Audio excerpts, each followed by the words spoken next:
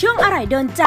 สนับสนุนโดยผงวุ้นสำหรับทำขนมตรานางเงือก วันนี้เราขอเสนอเมนู วุ้นสตรอเบอรี่โยเกิร์ต วิธีทำวุ้นสตรอเบอรี่ เริ่มด้วยใส่ผงวุ้นสำหรับทำขนมตรานางเงือก น้ำเชื่อมเข้มข้นกลิ่นสตรอเบอรี่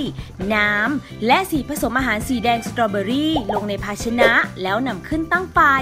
คนตลอดเวลาจนส่วนผสมเดือดทั่วแล้วปิดไฟ พักไว้ให้อุ่น เรียงสตรอเบอรี่ลงในแก้วเสิร์ฟ เทวุ้นสตรอเบอรี่ประมาณ2ส่วน3ของแก้ว แล้วพักไว้จนวุ้นทรงตัววิธีทำวุ้นโยเกิร์ต ใส่ผงวุ้นสำหรับทำขนมตราหนังเงือก เกลือป่น น้ำตาลทราย และนม UHT รสจืด ลงในภาชนะแล้วนำขึ้นตั้งไฟ คนตลอดเวลาจนส่วนผสมเดือดทั่วแล้วปิดไฟ เติมโยเกิร์ตรสธรรมชาติ คนให้เข้ากัน